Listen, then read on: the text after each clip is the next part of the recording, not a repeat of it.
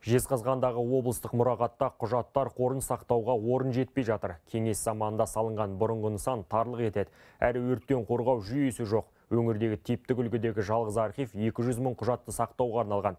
Бірақ бүгінде мұндағы құжат саны 500 мыңнан асып кеткен. Орынның жоқтығынан мекеме соңғы 3-4 жылда көлемді құжаттарды қабылдаудан бас тартуға мәжбүр. Жергілікті билік жағдайдан хабардар. Әзірге шаң басқан құжаттарды цифрландыруға қаржы бөлінген. Ал жаңа ғимарат мәселесі архив 2025 бағдарламасы аясында бірер жылда шешілуі мүмкін.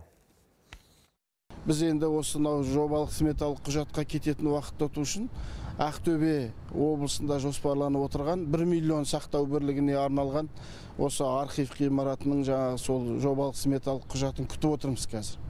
Осы аяқталса соны бізге әкеліп осы ұлытаудың жерінде бейімдеп өзі сондай практикада бар. Осы жерде сол құжатқа сол сомасына қарап соған тапсырыс берсек деп. Енді шешіледі деп үміттенеміз.